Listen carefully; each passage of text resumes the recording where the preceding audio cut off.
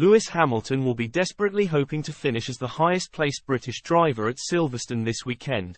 Lewis Hamilton has named Mercedes teammate George Russell and McLaren rival Lando Norris as the two drivers he is most excited about in terms of their futures in Formula One. Russell has firmly established himself as one of the grid's finest talents since making his F1 debut back in 2019, with the man from Kings Lynn beating Hamilton in the standings at the end of his debut Mercedes campaign last year.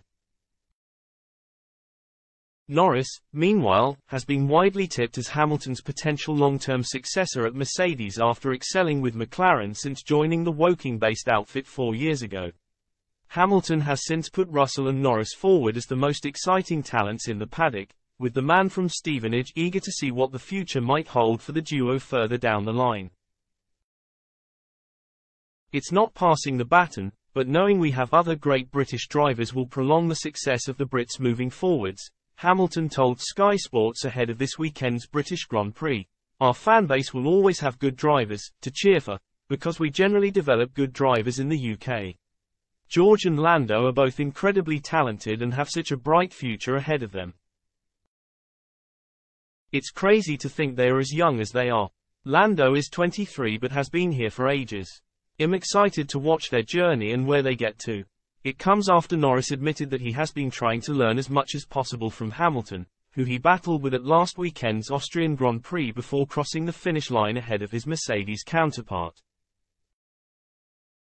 The young Brit explained that although he tries not to ask Hamilton too many questions, he is still gaining a valuable insight into what it takes to be a champion by examining the 38-year-old's mindset. I have so much respect for him and what H has been able to achieve in F1, said Norris. H is part of the reason I'm an F1 driver, so it's weird thinking I'm now racing against him. I am not always the guy who asks a lot of questions to these kind of people to get to know what they're like and what they think, said Norris. I do it in a more subtle way and just try to understand how they think and their thought processes and kind of understand what makes them special.